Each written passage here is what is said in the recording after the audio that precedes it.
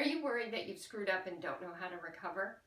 Hi, my name is Anne Collier, and I work to improve culture, collaboration, and communication. And I do so by improving personal effectiveness under pressure.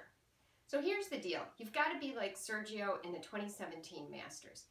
He missed a number of opportunities on the green and was forced to play sudden death at the end. He triumphed. How did he do that? He had the right mindset he has a growth mindset.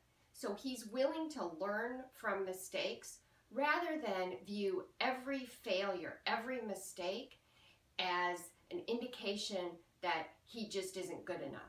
So here's the thing have a growth mindset, not a fixed mindset. Your traits aren't fixed, you can always learn.